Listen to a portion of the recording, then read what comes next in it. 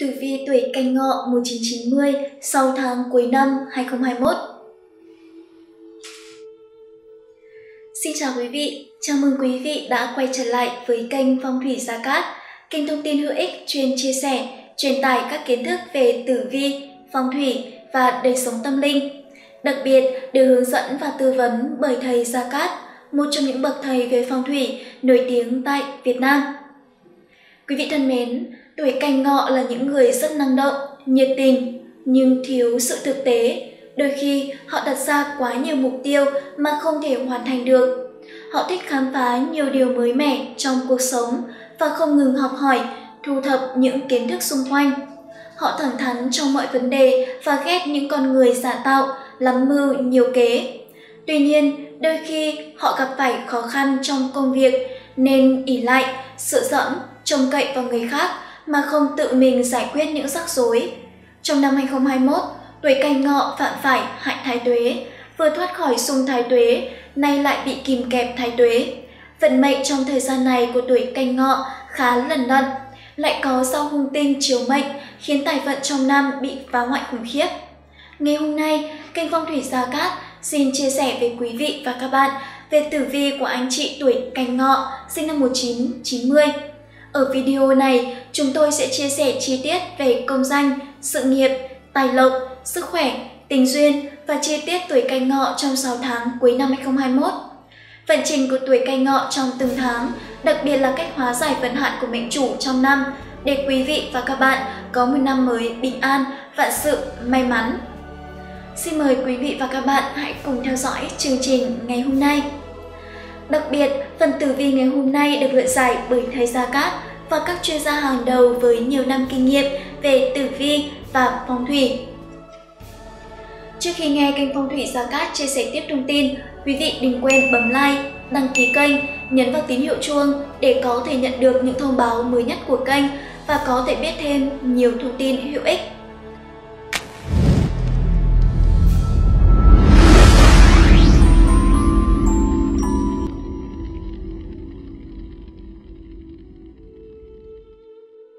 Sau đây sẽ là phần tổng quan tử vi của anh chị tuổi canh ngọ sinh năm 1990 trong 6 tháng cuối năm Tân Sửu. Tử vi của anh chị tuổi canh ngọ nửa cuối năm 2021 cho thấy cục diện hại thái tuế cùng với nhiều hung tinh chi phối hoặc kìm kẹp về mặt cảm xúc khiến anh chị bất ổn về tinh thần, thiếu thận trọng hoặc chủ quan lơ là sẽ xảy ra tranh chấp với đối tác làm ăn, mưu sự chắc trở Thậm chí, đôi khi vì anh chị quá tham cái lợi trước mắt mà liều lĩnh dẫn tới họa phá tài, mất không ít tiền cũng chỉ vì tâm lý bị kích động nghiêm trọng. Hơn thế nữa, sức khỏe của anh chị tuổi canh ngọ trong thời gian này cũng có nhiều điểm bất ổn, cần đề phòng về bệnh tiêu hóa. Đặc biệt, anh chị trong thời điểm này còn phải phải Đặc biệt, anh chị trong thời điểm này còn phạm phải thái tuế. Người xưa có câu, thái tuế đừng đầu họa, vô hỷ ắt hữu họa. Có nghĩa là với mỗi năm khi thái tuế đến thì ắt sẽ có việc đến theo. Thái tuế đến đâu thì phương đó nghi tĩnh bất nghi động, cho nên cô chú sẽ hung họa khôn lường. Vậy nên để hóa giải, anh chị hãy mang bên mình một thẻ kim bài thái tuế. Kim bài thái tuế có hai mặt, mặt trước in hình hai vị thần cai quản và niên hiệu của năm đó, mặt sau có in lệnh phù thái tuế của năm, kèm theo những tuổi bị phạm thái tuế. Kim bài sẽ nghênh đón quý thần, hóa giải vận hạn, hung tinh. Từ đó anh chị có thể gặp được nhiều may mắn, thuận lợi phát triển trong năm 2021. Quý vị thân mến, phần tiếp theo của chương trình, kênh Phong thủy Gia Cát xin chia sẻ chi tiết vận trình của anh chị tuổi canh ngọ trong 6 tháng cuối năm 2021 và từng phương diện cụ thể của cuộc sống. Thứ nhất, về sự nghiệp và quan vận. Xem tử vi của anh chị tuổi canh ngọ trong nửa cuối năm 2021 có nói rằng đường công danh của anh chị không được suôn sẻ. Anh chị sẽ phạm sai lầm, tự mang tai vạ cho bản thân vì sự cầu thả và chủ quan. Hơn nữa, vì làm việc tùy hứng, thiếu tính kỷ luật, anh chị sẽ dễ bỏ dở nửa chừng khi sự hăng hái ban đầu qua đi, nên việc gì của anh chị làm cũng chỉ có kết quả nửa vời, khó đạt thành công lớn. Khi đó, anh chị sẽ phải tốn thêm nhiều thời gian để giải quyết mớ rắc rối do chính mình gây ra. Cho nên, để có thể hóa giải vận mệnh, anh chị tuổi canh ngọ hãy mang theo bên mình pháp khí phong thủy, vòng tam hợp quý nhân, dần, ngọ, tuất. Với năng lực tam hợp khí của vòng sẽ giúp anh chị đạt thông năng lượng ngưng tụ, thiên, địa, nhân, giúp hóa giải thị phi, xua đuổi tiểu nhân quấy phá và hung tinh trong năm. Từ đó mang lại cát lành, tài lộc và thuận lợi trong công việc. Đồng thời, pháp khí còn chiêu mời quý nhân che chở giúp đỡ anh chị phát triển trong năm 2021. Thứ hai, về mặt tài lộc và tiền bạc. Tử vi của anh chị tuổi canh ngọ nửa cuối năm 2021 cho biết, tài lộc là một trong những điểm sáng của anh chị thời điểm này. Đặc biệt là với anh chị đang làm kinh doanh, anh chị sẽ dễ dàng thu về những khoản lợi không nhỏ nhờ có kế hoạch tiếp thị, đa dạng hàng hóa, đáp ứng tốt nhu cầu thị trường và khách hàng. Tuy nhiên, tài chính rủng rỉnh đồng nghĩa với việc mức chi tiêu của anh chị cũng tăng thêm. Nói cách khác, 6 tháng cuối năm 2021 là khoảng thời gian anh chị tuổi canh ngọ vừa có thể kiếm tiền lại vừa chi tiêu khá nhiều. Ngoài ra, việc kiếm tiền của anh chị tuổi canh ngọ trong thời gian này không hề dễ dàng. Ngược lại, anh chị phải rất vất vả, hao tổn nhiều công sức mới đạt được mục tiêu tài chính của mình trong thời gian này. Để có thể kích hoạt tài lộc và vận may trong thời gian này, thầy phong thủy khuyên anh chị tuổi canh ngọ hãy mang bên mình pháp khí bát bảo tâm kinh. Pháp khí sẽ giúp tăng cường vận khí, nghênh đón quý nhân, tương trợ anh chị trong công việc, trong làm ăn và kinh doanh. Thứ ba, về mặt tình cảm và gia đạo. Nửa cuối năm 2021 không phải là thời gian lý tưởng đối với đường tình duyên của anh chị tuổi canh ngọ. Anh chị có tương đối ít cơ hội về tình cảm, mọi thứ dậm chân tại chỗ, khó có bước đột phá như ý muốn. Mặc dù đào hoa khá vượng, nhưng riêng chị tuổi canh ngọ có thể sẽ gặp phải vận đào hoa xấu hoặc cảm thấy phiền lòng với sự đeo bám, theo đuổi quá mức nhiệt tình của người mình không có tình cảm. Lời khuyên cho chị đó là dù không thích, anh chị cũng nên lựa lời phù hợp để từ chối khéo léo, tránh quá mức thẳng thừng sẽ gây phản tác dụng. Với anh tuổi canh ngọ trong thời gian này sẽ có cơ hội tình cảm nhìn hơn một chút, nhưng anh cũng cần dành thêm thời gian suy nghĩ về tình cảm thật sự của mình. Chớ vội đưa ra các quyết định chỉ vì cô đơn, bởi như thế là không công bằng cho đôi bên. Còn với những anh chị tuổi canh ngọ đã kết hôn thì giai đạo có phần bất ổn, nhưng ở mức điều khung. Sẽ có những xáo trộn xảy ra, đòi hỏi các thành viên học cách thích ứng càng nhanh càng tốt và cùng nhau san sẻ để vượt qua thời gian khó khăn thì mọi chuyện không có điều gì đáng lo ngại. Cho nên, để cải vận tình duyên, anh chị tuổi canh ngọ hãy sử dụng vòng tay phong thủy tam hợp quý nhân, dần, ngọ, tuất. Vòng sẽ giúp kích hoạt vận đào hoa của anh chị trong thời gian này, từ đó có thể hóa giải xung khắc, mâu thuẫn với nửa kia, gia đạo yên ấm. Nhưng anh chị đang độc thân sẽ sớm tìm được đối tượng ưng ý. Thứ tư, về mặt sức khỏe. Trong nửa cuối năm 2021, anh chị tuổi canh ngọ cần đề phòng các bệnh về tim, não, máu, đường tiêu hóa bởi những cơ quan này đang ẩn chứa nhiều nguy cơ mà anh chị không lường trước được. Ngoài ra trong thời điểm này, anh chị cũng cần chú ý tịnh dưỡng, giải tỏa cảm xúc thích hợp, chớ nên để tinh thần căng thẳng trong thời gian dài. Anh chị cũng không nên đi đến những nơi lộng gió để tránh các chứng cảm mạo, phong hàn. Một chế độ sinh hoạt khoa học, tập thể dục thường xuyên kết hợp với thái độ sống khiêm tốn, không so đo hơn thua với những người khác sẽ giúp anh chị giữ được nền tảng thể chất khỏe mạnh. Ngoài ra trong thời điểm này, anh chị hãy sử dụng pháp khí bát bảo tâm kinh. Vòng tay sẽ giúp anh chị tăng cường vận khí, tăng may mắn, chiều mời quý nhân, tương trợ và bảo vệ anh chị khi mang theo pháp khí bên mình cũng giống như một tấm búa hộ mệnh bảo vệ anh chị trong năm 2021. Quý vị thân mến, trên đây là vệ trình cụ thể của anh chị tuổi canh ngọ trong 6 tháng cuối năm Tân Sửu. Sau đây xin mời mọi người hãy cùng tìm hiểu hung cát từng tháng của anh chị qua phần tiếp theo của chương trình. Thứ nhất, tử vi tháng 7 âm lịch. Trong tháng 7 âm lịch, anh chị tuổi canh ngọ vẫn cần phải quan tâm đến tình trạng sức khỏe của mình. Nếu thấy cơ thể có dấu hiệu cảnh báo, anh chị cần phải đi khám ngay, chứ chớ nên trần trừ, do dự khiến bệnh trở nặng. Khi tham gia giao thông, anh chị cũng cần chú ý quan sát. Nếu phải đi một chặng đường dài thì tốt nhất là không nên cầm lái. Ngoài ra trong công việc, có thể anh chị sẽ gặp phải những vấn đề không được như mong muốn, nhưng hãy coi đó là cơ hội để thể hiện bản thân với người làm lãnh đạo.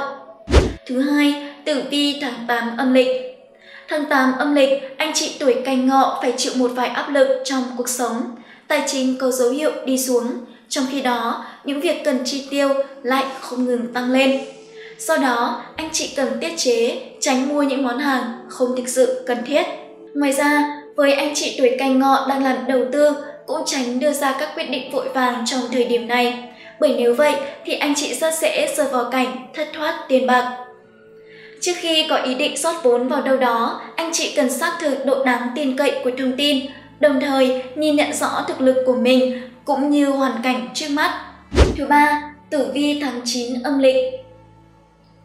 Về tổng thể, vận trình của anh chị tuổi canh ngọ trong tháng 9 âm lịch khá ổn định. Sự nghiệp có những bước tiến triển nhất định, những cố gắng từ trước đến nay của anh chị đã được công nhận, thậm chí còn có người có cơ hội được cân nhắc. Tinh thần làm việc hăng hái, tích cực cũng sẽ giúp anh chị đạt được nhiều kết quả bất ngờ trong khoảng thời gian này. Chính nhờ những dấu hiệu tích cực trong công việc nên tiền bạc cũng gia tăng. Với anh chị tuổi canh ngọ đang làm công ăn lương thì sẽ có được cơ hội thử nóng, trong khi đó một số các bác đang làm trong khi đó, một số khác đang làm đầu tư, kinh doanh thì thời điểm này sẽ đưa ra được những quyết sách đúng đắn để mở rộng quy mô, xây dựng mối quan hệ với các đối tác. Thứ tư, tử vi tháng 10 âm lịch. Anh chị tuổi canh ngọ không đạt được nhiều thành công trong tháng này, song cũng không vướng phải nhiều rắc rối. Trên cơ bản, anh chị hoàn thành tốt nhiệm vụ của mình nên trạng thái tinh thần cũng nhẹ nhõm hơn trước đó nhiều. Anh chị cần lưu ý tập trung hơn trong công việc, chớ nên để thời cơ trôi qua một cách đáng tiếc, chỉ vì mình lơ là, không chú ý. Ngoài ra, tình hình kinh tế không được khả quan trong thời điểm này, do mức lương hoặc mức lợi nhuận không gia tăng, nhưng anh chị lại có nhiều vấn đề cần phải chi phí. Thứ năm, tử vi tháng 11 âm lịch Tháng 11 âm lịch, anh chị tuổi canh ngọ không gặp được nhiều may mắn do phải chịu tác động của cục diện tương xung. Công việc nặng nề khiến anh chị thường xuyên cảm thấy mệt mỏi, áp lực, thậm chí có ý định từ bỏ. Hãy cố gắng quyết tâm vượt qua giai đoạn này rồi mọi chuyện sẽ quay trở về quỹ đạo vốn có của nó. Thứ sáu, tử vi tháng 12 âm lịch.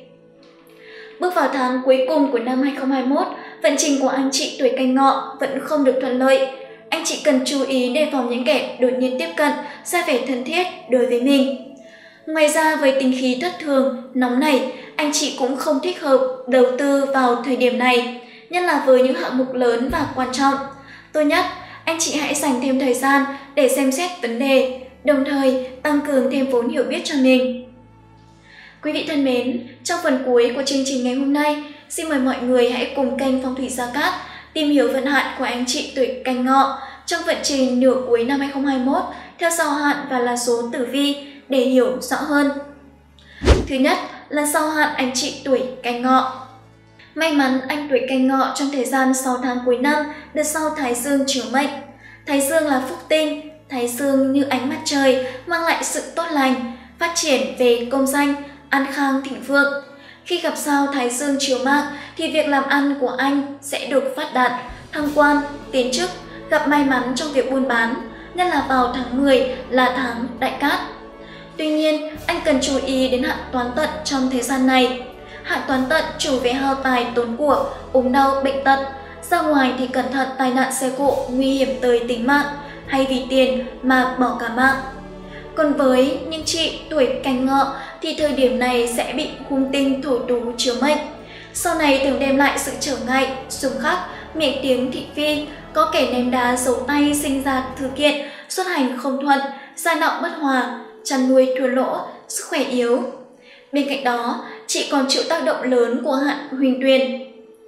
Đây là hạn xấu tác động chủ yếu về phương diện sức khỏe, khi gặp sao hạn Huyền tuyền sẽ đau yếu, bệnh tật nghiêm trọng. Mưu cầu giành lợi đều khó thành, sẽ xảy ra thất bại. Thứ hai, luận hùng căn niên vận 6 tháng cuối năm 2021 theo là số tử vi. Cung mệnh của anh chị tuổi canh ngọ thời gian này gồm có các sao Thiên Việt, Nguyệt Đức, Đào Hoa, Thiên Trù, báo hiệu vận quý nhân và Đào Hoa Vượng, có lộc ăn uống. còn có tử phù gây đau yếu. Cung tam hợp thì gồm có những các tinh thiên khôi, hồng loan, thiên đức, thúc vượng đào hoa và quý nhân, hung tinh cô thần, quả tú, kình dương, kiếp sát, thiên không. Hôi khí lại gây bất lợi về tình cảm, đề phòng tai nạn bất ngờ hoặc gia đình có chuyện buồn. Cuối cùng là cung xung chiếu, gồm có văn tinh tốt cho học hành, thăng tiến, bệnh phù, gây bất lợi cho sức khỏe. Vừa rồi quý vị và các bạn đang nghe bài phân tích về tử vi 6 tháng cuối năm 2021 của anh chị tuổi Canh Ngọ, sinh năm 1990. Phần tử vi này đều được thầy Gia Cát và các chuyên gia hàng đầu với nhiều năm kinh nghiệm về tử vi và phong thủy để cập nhật được nhiều hơn về thông tin tuổi của mình năm 2021 và những năm tiếp theo về sức khỏe, gia đạo, công danh sự nghiệp, con cái. Quý vị hãy đăng ký kênh để luôn cập nhật được những thông tin mới nhất về vận trình của mình. Cảm ơn quý vị và các bạn đã luôn quan tâm, theo dõi và ủng hộ chương trình trong suốt thời gian qua. Kênh Phong thủy Gia Cát rất vui lòng được phục vụ quý vị và các bạn. Còn bây giờ, xin chào và hẹn gặp lại trong những video lần sau.